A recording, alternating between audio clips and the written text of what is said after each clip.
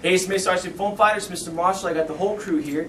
And uh, the reason why we're getting here today is because we need to send out huge thanks to Danny over at Quadlugs. As you can see on this table, he has provided us um, with everything we need to get these guys up and running, training with multi-rotors. He's probably the most um, giving sponsor that we've ever had, um, just continually to give, to give, to give, to give, to give.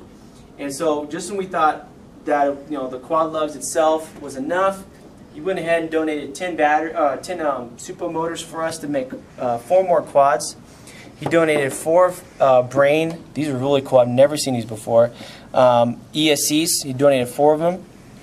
And that wasn't enough. He went ahead and built a whole quadcopter for us. And um, I'll put a link to the video of him testing it out and, and uh, before he sent it out to us. And I thought we were going to have to put our own stuff on there, but now he decided to put everything on there.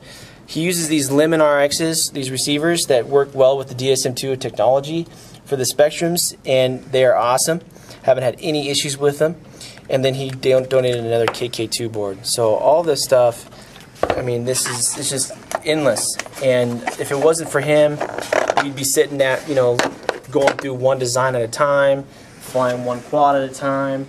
And now you guys can just let it rip, let it have it, and have some fun with these things.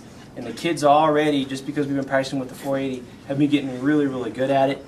And um, it, it's it's it's going to make for a true experience for these Mesa guys when it comes to multi-rotor stuff. So, on behalf of all of us, we should give a good thank you to Dan.